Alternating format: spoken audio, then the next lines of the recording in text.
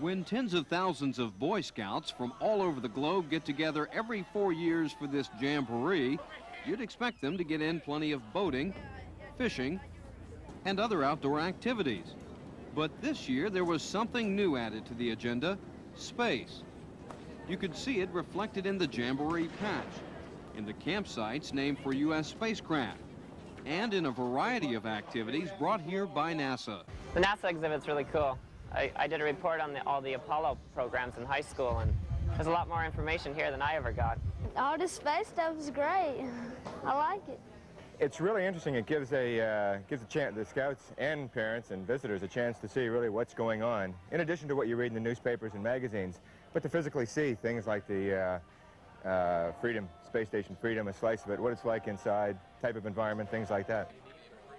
NASA and the Boy Scouts organization say they have some important things in common. Both think it's vital that young people in this country get early exposure to American technology. The Solar wings here roll out in orbit. They're flimsy, real flimsy. They won't even hold their own weight up here on Earth.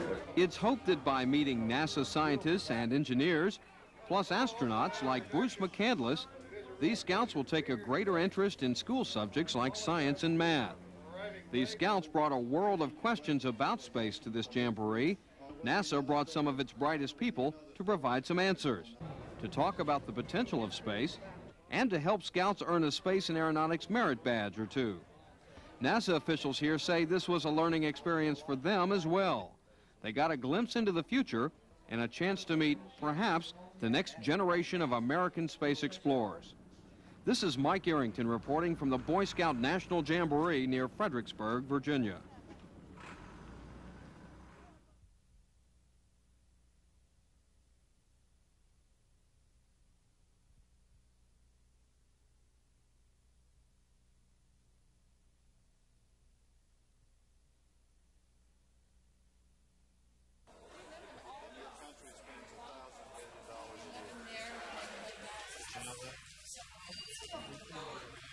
Tenths of a percent.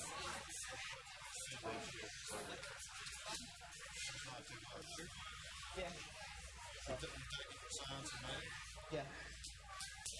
Okay. Yeah. Just hang in.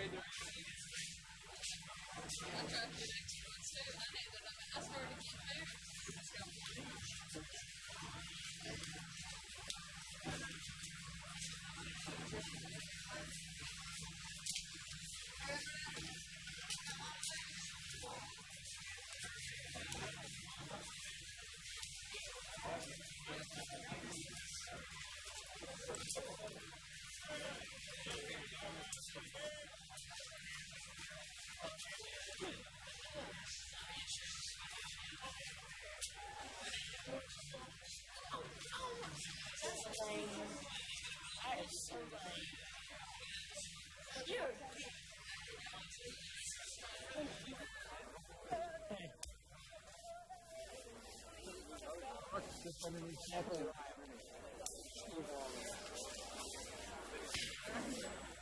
you're only supposed to hang on with one hand. And when you're ready, raise the other hand in the air. And grip it tight with your legs.